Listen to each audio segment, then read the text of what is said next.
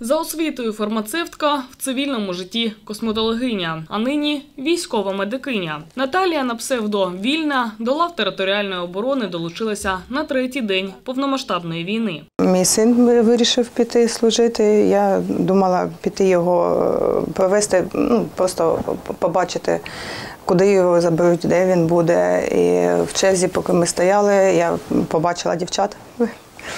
Е, Там чоловік 10 було переді мною.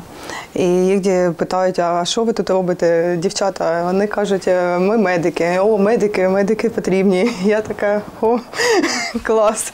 І я медик, і все. Того ж дня жінка відправилася на навчання. За декілька місяців вона була на Донецькому напрямку та вже рік рятує побратимів на Запорізькому, розповідає Вільна. Нас тут е, буває по-різному, але ну, ми завжди на готові, е, завжди на рації, завжди відчуття, е, що ну, ми в будь-який ну, момент можемо підірватися і поїхати на евакуацію. Наталія працює у медичному пункті та виїжджає на чергування до лінії фронту. Каже, на війні рішення треба приймати швидко, і хоча інколи вони не відповідають протоколу, втім рятують життя. Звісно, основний наш напрямок це евакуація поранених. Е, Під час евакуації ми виїжджаємо на швидкій. Е,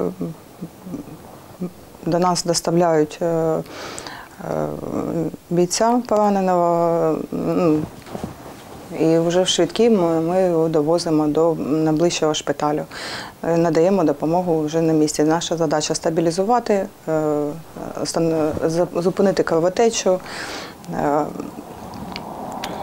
сповнити рідину, ну тобто вже по ситуації, що, що, що за поранення.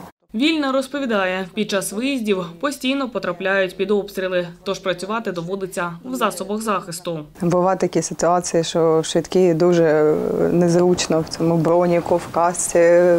На на тобі куча всього, і тобі ще потрібно якось рухатися. І коли швидкі не, не одна людина, не один поранений, декілька поранених.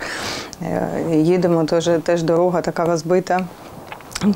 Е, Не, не буває незручно, я літаю просто на, своїх, на своїх берцях.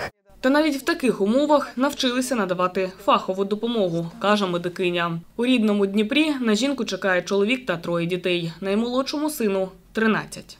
Для мене дуже важливо в житті відчуття свободи, власної свободи і свободи моїх е, дітей. Нині Наталія паралельно здобуває освіту психолога. Каже, це робить для того, аби змогла відновитися після війни та допомагати з цим іншим захисникам. Я вважаю, що це е, ну, і зараз потрібно.